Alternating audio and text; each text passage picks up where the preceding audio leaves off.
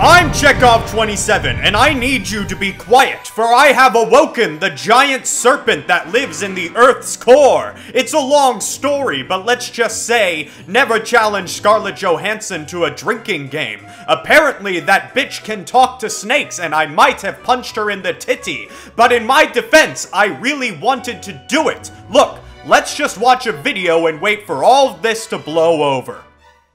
A big issue with games is being able to tell whether or not a game is going to be good before it comes out. Companies go through extraordinary lengths to get their customers to pre-order games by offering skins and DLC bonuses as part of that pre-order, but that never seems worth it. I don't buy DLC very often, and when I do, it's because I really enjoyed the game and want to play more of it. But this video isn't about DLC, it's about instilling confidence in the consumer. So, what are the best ways for a company to instill confidence in their game?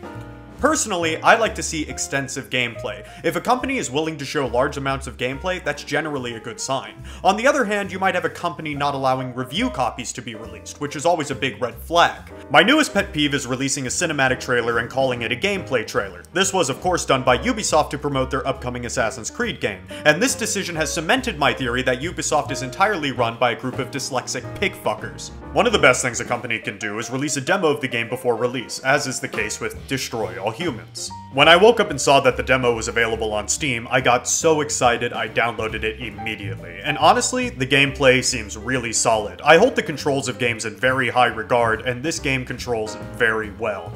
I played the original ones as a kid, and from where I'm sitting, this is definitely an improvement. I also think the stylistic improvements are a big plus, though the demo seems to be locked at 720p for some reason, but that's okay, as it's not the full release. The cutscenes seem alright, and they took the audio from the original game, which is fine as the delivery is very good. They eat with their mouths.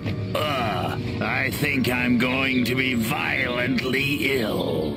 The demo lets you play the first mission, and then you can freely explore the first map as much as you want. This is honestly great. I don't have too much to say about this besides some minor frame rate dips, but that will probably be patched. I only wish you had access to one or two more weapons in the demo, but it is a demo. I sank about an hour into it, most of which was just me screwing around in the world. I mean, the controls work so well, and it's great to be on a mouse and keyboard for this game. I suggest everyone go and download it to get a feel for yourself. It truly is great. Oh shit, this game's got all the animals. The cow says.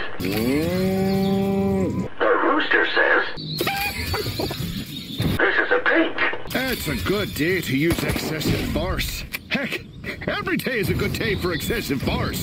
I'm more confident in this game because I've now had the opportunity to try it, and I know that's an obvious point to make, but I'm just used to being fucked around by companies like Ubisoft showing off games in misleading ways that it genuinely makes me happy to see stuff like this happening. I'm not going to give this a rating because it is a demo, but I am going to say that I'm glad I played it and I look forward to the release. She's right behind me, isn't she?